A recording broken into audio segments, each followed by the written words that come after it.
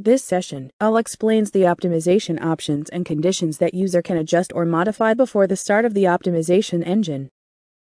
On the left side of the Config tab screen, there are options for users to set before the start of the optimization engine. And in the middle of the screen, there are conditions about the port and ship's operations that can be adjusted or modified by users. Items that users can change has been marked in white. Let's look at the options on the left first. One of the major factors that affect the quality of the stowage plan is to determine how many containers would placed on a stack. Generally, the maximum stacking height affects the storage productivity of the next ports rather than this port. For this reason, the stacking height of the each port should be carefully determined by taking into account overall circumstances on the target port as well as the next ports. TG stacking height which is the reference stacking height at the target port. If the value is set to 99, engine automatically determines the height by taking into account the loading and discharging situation of the target port and the next port of the route. BS stacking height, which is the maximum stacking height at the final port of the target route. If the height is set to 99, engine automatically estimate the height considering the overall situations. BS stacking height is the reference height for the block storage. And during the optimization process, the maximum stacking height of the target port is determined between TG height and BS height. Next, let's look at the stacking height of the individual container type. Max tier for DG is the maximum stacking height of the dangerous container on deck which apply for all ports in the route, and max tier for RF is for reefer container. And next, stack height 4AK which is the stacking height of the OOG container. The engine tries to stack OOG container within the specified height as possible. 45 feet on top. This option indicates whether a 40 feet container can be loaded on top of a 45 feet container. If it is set to a 40 feet container can be loaded on top of 45 feet container.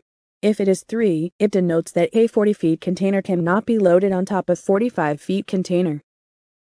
Next, it's about the container arrangement in the hold, how the container will be placed by its weight. Weight arrangement. If weight arrangement is set to 1, a heavy container is loaded as below as possible. If it's set to minus 1, then a heavy container is loaded as upper as possible.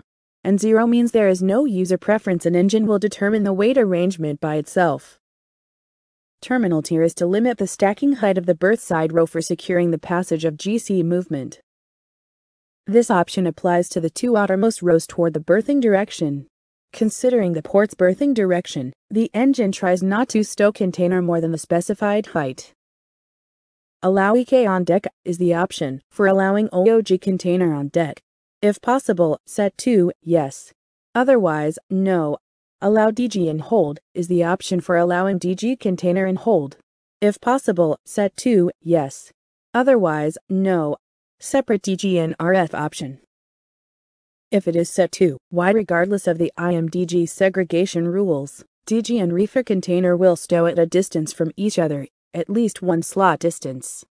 Stability If stability calc is set to yes, then engine will carry out the ballast optimization as soon as it finishes making the bay plan.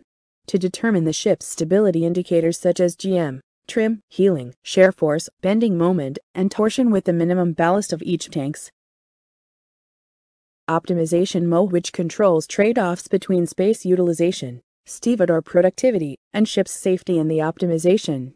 Mode minus 1 is the fast mode focusing on engine runtime and produce the stowage plan with the basic considerations. Mode O is the default setting of balanced, engine works toward getting a balanced results. With the consideration of trade-offs between space utilization, stevedore productivity, and the ship's safety. Mode 1 which is focused on space utilization, engine will produce more efficient stowage plan in the point of space utilization view, as it optimizes the stowage problem with the less effort on stevedore productivity and ship's safety. Mode 2 which is focused on stevedore productivity, engine will produce more efficient stowage plan in the point of stevedore productivity view, as it optimizes the stowage problem with the less effort on space utilization and ship's safety. And finally Mode 3 which is focused on ship safety. Engine will produce more efficient stowage plan in the point of safety view, as it optimizes the stowage problem with the less effort on stevedore productivity and ship safety. Scoping mode which specifies the calculation range for booking cargoes of the next ports at the processes optimizing block pattern or slot allocation. Mode minus 1 is the fast mode focusing on engine runtime and produce the stowage plan with the minimum consideration of the bookings of the next ports. Mode O is the default setting. Engine will optimize the container loading operations focusing on the stowage plan and departure condition at the target port and the final port of the route. With the default settings of not calculating the stowage pattern at the intermediate ports. Mode 1 is the same as the default setting of O but for blocks where the loading operation at the target port occurs in the slot allocation process. The booking cargoes of the next ports are considered and optimized together. With the setting of 1, slot allocations within blocks can be optimized efficiently. Mode 2, on this mode, in addition to the functionality of Mode 1, the optimization of the block pattern is carried out for all the ports on the route including the target port, the intermediate port and the final port. And finally, Mode 3 is to optimize the stowage plan of the target port with the consideration of the booking cargoes of the all ports on the route and the overall processes of the block pattern and slot allocation. With the option 3, the engine will produce the best combinations of loading instructions for the target port, but it takes a lot of time to run. Learning algorithm is the option for whether engine use the pattern learning algorithm while optimizing the stowage. It can be specified by Y2, yes and N2, no. With Learning Policy option, users can select the policy how the learning algorithm finds the adequate stowage pattern from the pattern storage. Zero is to choose action which is created from the previous optimization process. 1 is to choose action from candidate's actions which has the best evaluation values. And 2 is to choose action from candidate actions which has the best pattern score value. Next, let's go to the middle part of the screen. And there are several items users can adjust before the start of the engine as like the option settings.